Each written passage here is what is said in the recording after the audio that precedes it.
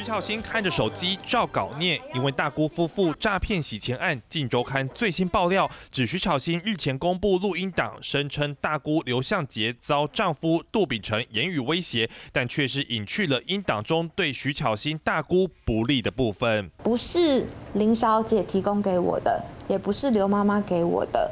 那是其他的朋友提供给我的，那他有授权给我一部分能够播放出来的内容。徐小新坦诚，音档经过剪接，但却又把媒体叫到会议室播放完整版，叮咛不能外流。根据周刊报道，徐小新大姑疑似外遇被丈夫抓包，在录音档中有道歉，徐小新却只留下杜秉成恐吓的内容。我不太会去，有可能去管到姐夫跟。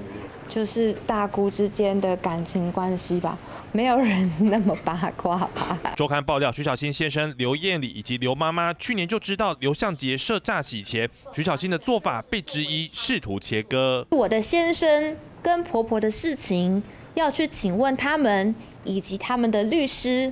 我不方便代为回应。如果他有涉案的话，我会跟他离婚。信誓旦旦，老公涉案就离婚，自己涉案就请辞。但案件争议宛如连续剧，已经有网友发起，每天关心徐小新辞掉立委了没？侦查中的秘密。为什么会转化成一个录音档？然后录音档拿出来进行剪辑之后，变成徐小新去带风向。我们知道，在各资法上面，能够授权他人去讲我的话的，大概就是本人。